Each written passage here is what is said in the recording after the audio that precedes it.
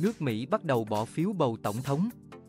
Hôm qua, giờ Việt Nam, tổng cộng 3 tiểu bang của Mỹ đã tổ chức bỏ phiếu sớm theo hình thức trực tiếp. Kích hoạt cuộc chạy nước rút kéo dài 6 tuần trước khi đến ngày toàn quốc đi bầu. Cử tri tại các bang Minnesota, Nam Dakota và Virginia là những người may mắn được bỏ phiếu sớm trước ngày bầu cử chính thức là năm. 11, khoảng 12 tiểu bang khác sẽ nối tiếp vào giữa tháng 10, theo trang Axios. Dân Mỹ đang chuộng bỏ phiếu sớm.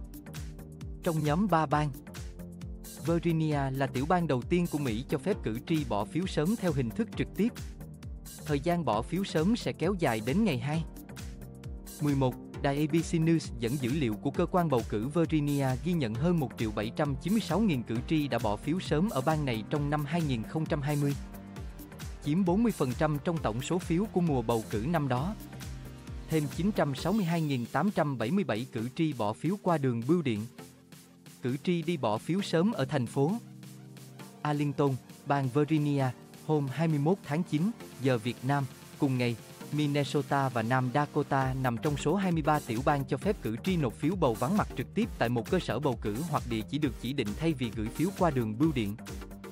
Trong cuộc bầu cử tổng thống gần đây nhất, hơn 1,9 triệu cử tri ở bang Minnesota bỏ phiếu bằng hình thức vắng mặt, chiếm 57% trong tổng số phiếu bầu năm 2020.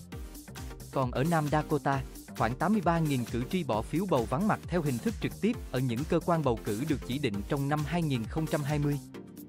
Còn các bang Idaho, Maryland, New York và Tây Virginia đều phải thực hiện việc gửi phiếu bầu vắng mặt cho tất cả cử tri yêu cầu trễ nhất là vào ngày 20. 9 giờ địa phương. Hạn chót của các bang Delaware, Indiana, New Jersey và Tennessee là hôm 21 tháng 9. Đây cũng là ngày một số hạt của bang Oklahoma có thể bắt đầu gửi phiếu bầu. Tiên tri bầu cử Mỹ e dự đoán bà Harris sẽ trở thành tổng thống giới chuyên gia dự kiến sẽ có nhiều cử tri bầu cử sớm. Do hình thức này đang ngày càng được dân Mỹ ưa chuộng. Trong mùa bầu cử năm 2020, hơn 69% số cử tri trên toàn quốc bỏ phiếu bầu qua đường bưu điện hoặc bỏ phiếu sớm trực tiếp. Theo dữ liệu do Viện Công nghệ Massachusetts, MI, thu thập, số liệu năm 2016 là 40% và năm 2012 là 33%.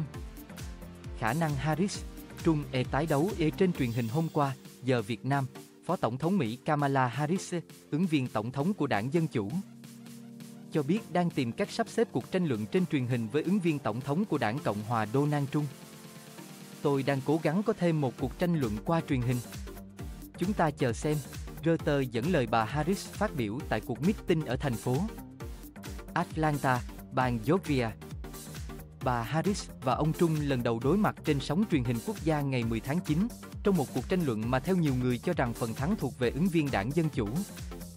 Trong khi đó, ông Trung tuần trước khẳng định sẽ không tham gia một cuộc tranh luận nữa với bà Harris trước ngày bầu cử năm.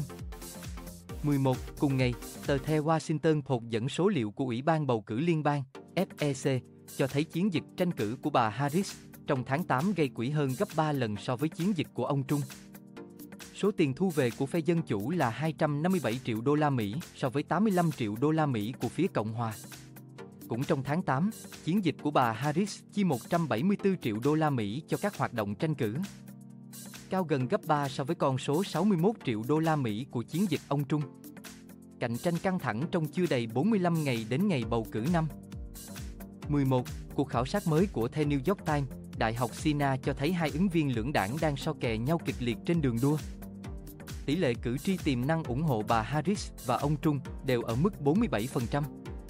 Kết quả này đánh dấu sự đổi chiều nhẹ so với cuộc khảo sát thực hiện hồi đầu tháng 9. Lúc đó ông Trung dẫn trước bà Harris 2 điểm, theo đài CNN. Cuộc khảo sát mới nhất cũng ghi nhận bà Harris cải thiện ưu thế dẫn đầu trong số các cử tri trẻ tuổi và người Mỹ da trắng. Tốt nghiệp đại học Một cuộc khảo sát khác do Đại học Winnipeg thực hiện ở hai bang chiến địa ở Pennsylvania, Michigan cho thấy bà Harris đang dẫn trước. Nhưng ông Trung vẫn còn cơ hội đảo chiều cục diện. Còn tình hình ở bang chiến địa Wisconsin vẫn đang trong thế giằng co.